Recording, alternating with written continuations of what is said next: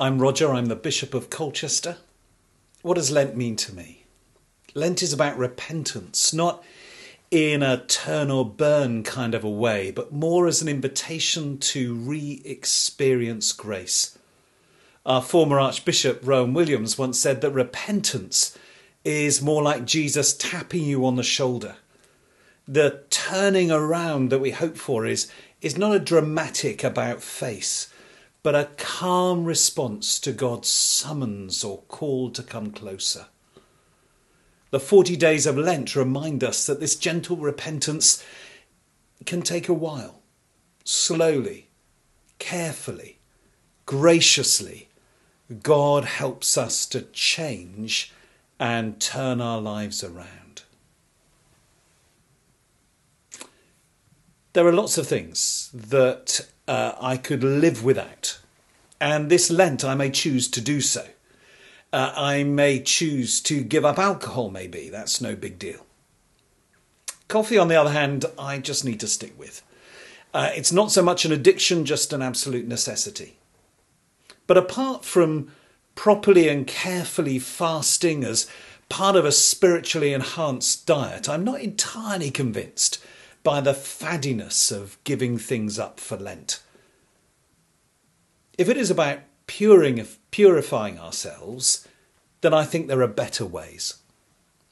St. James, who in writing his letter does not come across as a great bundle of fun, says this Religion that is pure and undefiled before God the Father is this to care for orphans and widows in their distress and to keep oneself unstained by the world.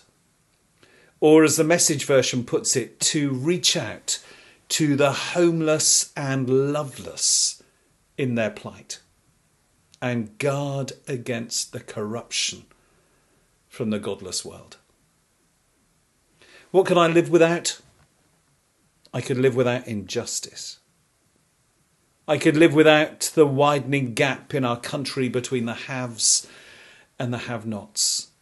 I could live without the stories that I hear of utter desperation as people simply do not have the means to get by. I could live without seeing our young people struggle with their mental health and well-being while the support structures and agencies and societies and clubs that they depended upon fold through lack of finance. I could live without knife violence sexual exploitation, modern slavery. I could live without drug gangs exploiting teenagers to distribute their poison. I could live without racism, sexism, homophobia. I could live without quite a lot.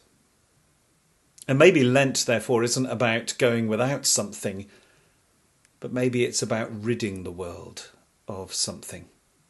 Maybe it's about justice and refusing to live with certain things. The first thing I'd want to say about hope is that it is performative. The one who hopes lives differently. It's about slaves in their bondage singing songs of redemption. It's about prisoners in their grey and gloomy confinement creating artwork that is full of vibrant colour. It's about exiles prophesying about coming home. It's about the oppressed and downtrodden daring to dream that things will change.